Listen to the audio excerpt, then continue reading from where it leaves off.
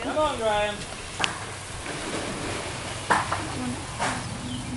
This is a local crocodile from the river in town. So if you look hard enough through the down through this area, this is what you'll find sitting around the rivers, the creeks and the swamps. Come on, Graham, up. Yeah, yeah. Come on, Graham. He's a, he's a pretty nice crocodile, this guy. We like him. He's not uh, overly aggressive. If you do stand in the wrong place, he'll happily eat you. He's not a, not a pet dog by any stretch of the imagination. But uh, he's not as bad as a lot of our crocs, certainly nowhere near as bad as that croc we just fed then, Cardwell. Come on, Graham, you can have it this time. Hey, up! Pretty nice little croc, this fella.